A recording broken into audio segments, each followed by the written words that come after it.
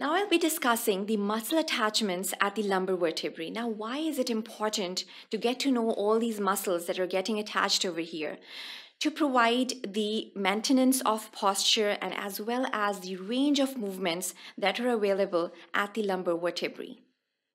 Let's first of all look at the anterior aspect of the lumbar vertebrae, which gives attachment to the anterior longitudinal ligament in the midline.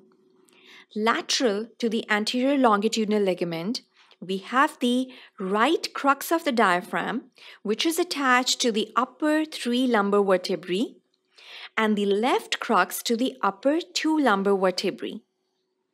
The transverse processes gives attachment to the various muscles and fascia.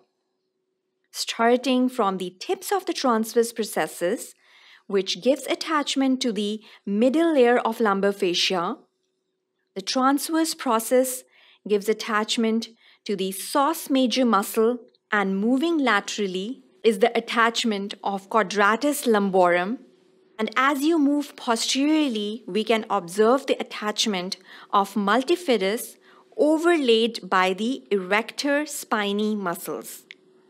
The upper and lower borders gives attachment to the lateral intertransverse muscles. The upper and lower borders also gives attachment to the anterior and posterior longitudinal ligament in front and behind.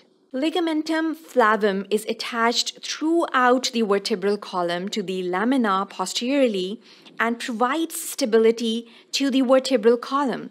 Intertransverse ligament is attached to the transverse processes of the corresponding vertebrae in the longitudinal manner, again maintaining flexibility and allowing a range of movements. Finally, we have the supraspinous and interspinous ligaments attaching to the corresponding spinous processes. So now we know the different identification points of the lumbar vertebrae and how do we differentiate between a typical and atypical variety of the lumbar vertebrae. So do like, share and comment down below if you have any queries regarding the lumbar vertebrae.